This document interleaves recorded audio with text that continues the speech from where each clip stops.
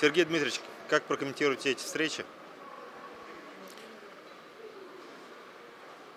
Ну, Вчерашняя игра у нас э, опять мы раздаем подарки, как говорится, забивают голы с наших передач.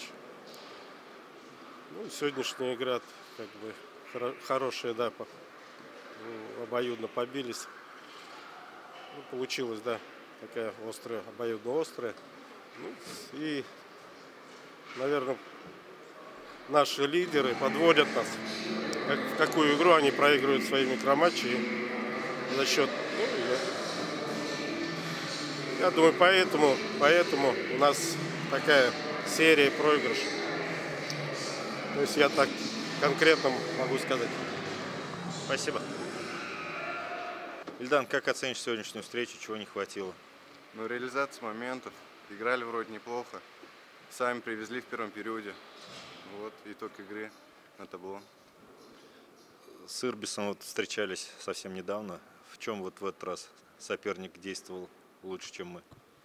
Да нет, были и что в Казани равные игра, и здесь. Но видите, еще раз повторюсь, реализация похромала сегодня. Вот из-за этого.